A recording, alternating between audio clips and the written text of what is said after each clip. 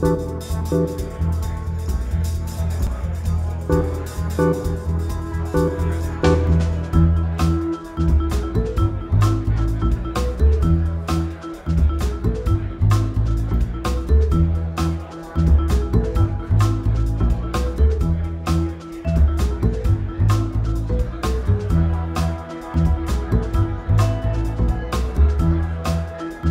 here today to celebrate the dedication of the Pamella Roland School of Fashion.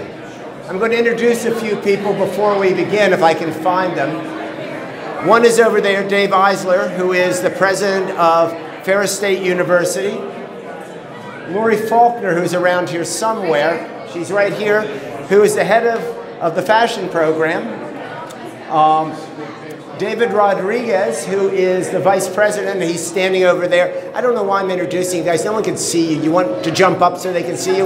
Uh, he was the vice president of design and brand management at Pamella Roland. Um, there's Dan over there, and he's shrinking away, but it wasn't on my script, so I won't introduce you. Where where did, and there's Pamella Roland herself, uh, who is the, uh, the reason the, for the gathering today. Um, the naming of the school comes from a generous gift.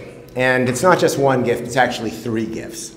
It's the gift of the resources to build the space you're standing in now and to fill it with all the equipment required to teach the students in the fashion program. And it's also resources to help build other programs that can support the program here. But it's also an, a gift of a name, a name that's synonymous with fashion and this is extremely rare. In the world, there are only two fashion programs that bear the names of designers. And so we're so proud to have Pamella's name on our, pro, on our program and our school.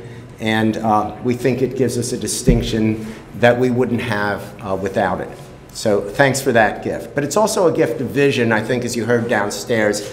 It's intended to ignite, ignite the futures of the next generation of artists and designers here in the heart of the Midwest in the creative center of the United States in West Michigan, Grand Rapids. The unique gift speaks volumes about Pamella Roland, the designer, and Pamella Roland DeVos, the person. Her artistic vision, flair for fashion, and entrepreneurial spirit are brilliant. Yet her giving heart remains genuine and true. Her hands thrive in the fast paced, high end fashion world of New York City and even globally.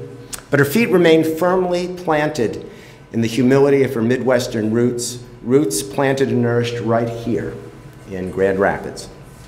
If you think about it, Pamella is very much like the woman she designs for. In fact, she is the woman she designs for, I think, even though she said she couldn't fit into that little number that was downstairs. she is confident, she's successful, she's strong. And while remaining down to earth, uh, she's also comfortable and true. It's that extraordinary com combination that attracts so many to Pamella's work. Since debuting in 2012, Pamella Roland has become a label of choice among the finest department retailers and specialty stores, both in the United States and abroad. In 2003, Pamella's line was recognized with the prestigious Gold Coast Award, and in 2010, she was inducted into the Council of Fashion Designers of America, which is a private club of the 450 finest designers in the United States, and quite worthy to be one of them. You've seen her one-of-a-kind designs all over the red carpet, um, donned by a legion of A-list celebrities, including Angelina Jolie, Jennifer Hudson, Jennifer Gardner, she likes Jennifer's, Eva Longoria, uh, Carrie Underwood, and many, many more. I speak on behalf of Kendall College of Art and Design, Ferris State University, when I say that we could not be prouder to have our fashion school bear your name. And now I present you the woman behind the designs, Grand Rapids' own Pamella Roland DeVos.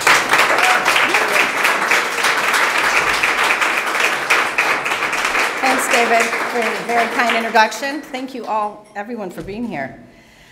Um, I am so excited to be here after months of planning and hard work on the parts of so many dedicated people to make this vision a reality.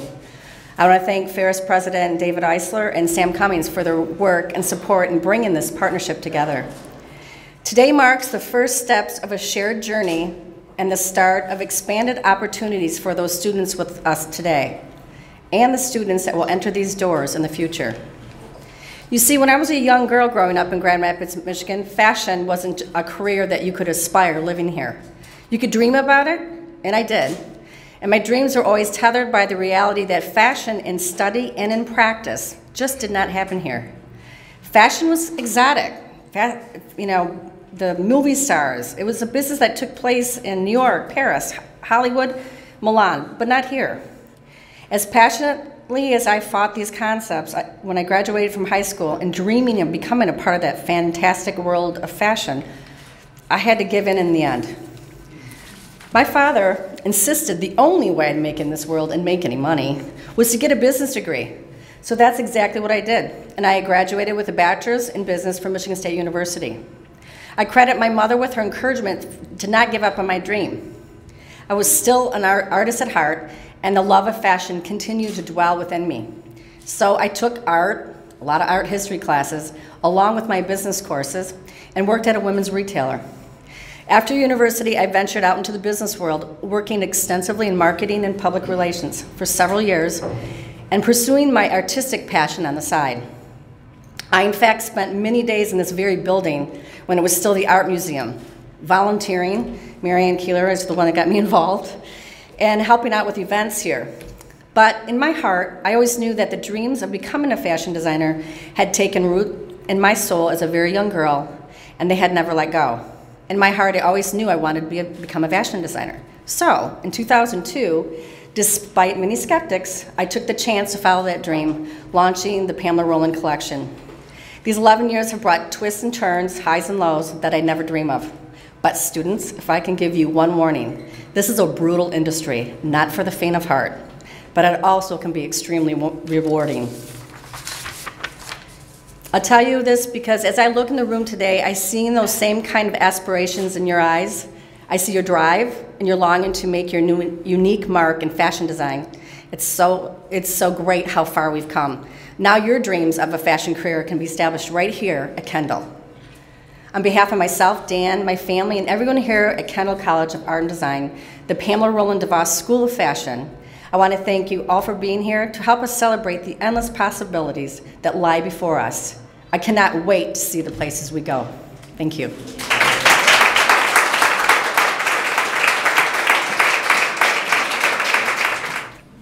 I have the easiest job in the room because my job is to say thank you. thank you so very much. What benefactors do is they help dreams become realities. And you and Dan have done that for us today. We had a dream that we would merge Kendall with Ferris, and that's worked out for us quite well. Then we had a dream of redoing this building. And I remember the first time I walked in this building, and up on the fourth floor, the plastic tarp led down to the blue barrel, which was full of rainwater that had come through the roof. But our hope was that we could take this wonderful building and give it a new life, a new life for the Kendall College of Art and Design. We've done that. And then we had this dream of creating a fashion school here in Grand Rapids. And you helped make that a dream a reality. And for that, we're eternally grateful. Thank you so very much for doing that.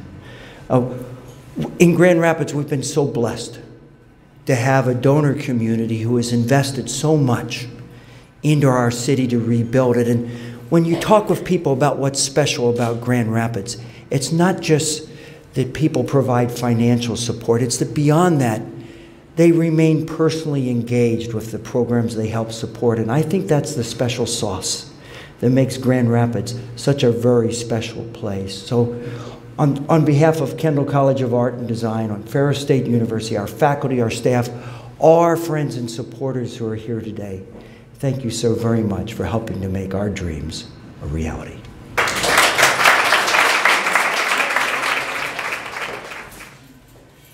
And now we're going to unveil the plaque that has the name of the new School of Fashion.